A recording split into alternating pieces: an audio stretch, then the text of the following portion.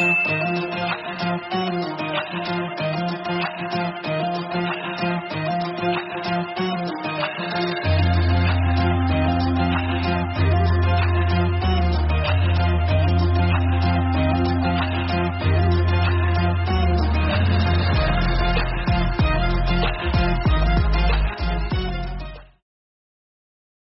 que é a Umbanda? A Umbanda é, ela é uma religião que se formou para a prática do bem e da caridade. Nós trabalhamos com os espíritos que foram desencarnaram e vêm hoje para resgatar suas dívidas kármicas através do trabalho da caridade, do amor, né, da doação. E o que é Candomblé? Candomblé já é uma religião estritamente brasileira, que se formou aqui com o conhecimento que o negro que veio para o Brasil trouxe, né? o negro escravizado veio para o Brasil e trouxe o conhecimento do culto aos orixás. E aí se formou aqui no Brasil, com a junção de as, a, o povo negro que veio para cá, o candomblé. A diferença de Umbanda e Candomblé?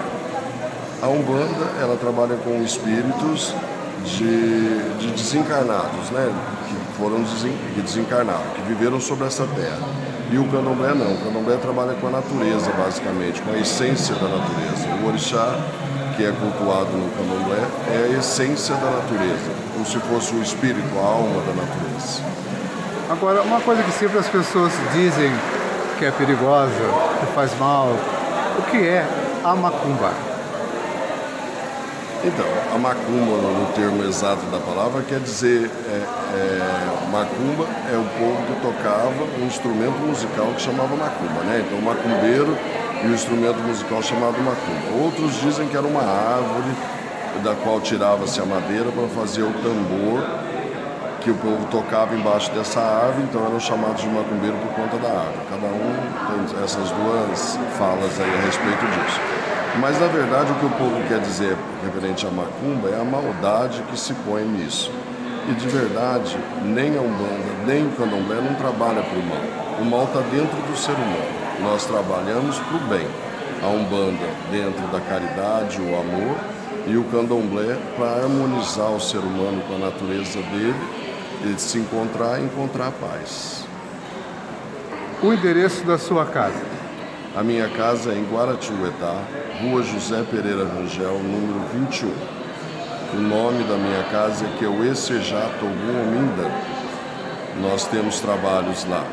Às segundas-feiras eu cedo espaço para um grupo de médiums que trabalha com cura espiritual.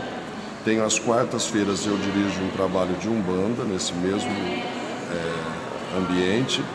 E às sextas-feiras temos um, ofereço espaço para um outro médium que trabalha com psicografia. Então nossa casa é isso aí, trabalha sextas-feiras com psicografia. Até certo ponto é ecumênica, então. É uma casa ecumênica. Lá todo mundo que quer servir e, e fazer o bem é com nós mesmos, não importa de onde vem.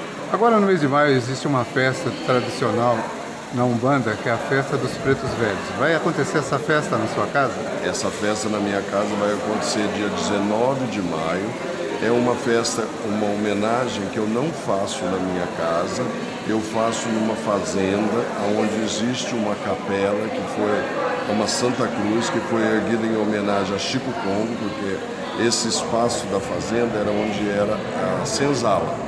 E aí lá morreu um negro chamado Chico Congo e foi erguida uma, uma capela para ele e eu faço essa homenagem lá na natureza dos Preto Velhos, na capela de Chico Congo, que é muito adorado por nós como um Preto Velho hoje. Né?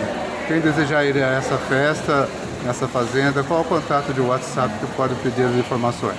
Meu WhatsApp é 12 991526966. Agora repete para conferir. É 12 991526966. O senhor também é, nos mostrou, descobriu seu búzio, os seus búzios aí. O que é o trabalho com búzios qual a função dele na vida das pessoas? O jogo de búzio é feito para identificar é, o negativo na vida da pessoa, quais são os problemas que a pessoa está vivendo. ele também é possível saber se esse problema é, é de ordem, é, é, uma coisa antiga ou é uma coisa atual. Mas o, o, objetivo dele é identificar o negativo na vida da pessoa e o orixá nos apontar uma condição, uma forma de ajudar aquela pessoa a sair daquele problema que ela está enfrentando. O senhor poderia explicar para nós, por exemplo, a base de onde o senhor trabalha? Tudo isso daqui, na verdade, é, é fetiche, é enfeite né? São é, utensílios da natureza que a gente coloca aqui para trazer o poder do orixá para o jogo. O jogo mesmo é isso aqui. O restante é mais que para enfeite, fetiche mesmo, né? Para conter, para completar a peneira. O senhor autoriza nós utilizarmos a sua imagem e as suas informações na internet para o nosso trabalho de cultura e turismo?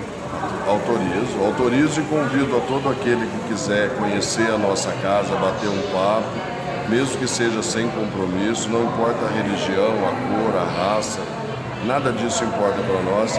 O que importa para nós de verdade é divulgarmos a cultura, a religião, até porque o candomblé ela mantém viva a tradição do povo negro que chegou no Brasil. Então será um prazer receber a todos em casa e pode colocar a minha imagem no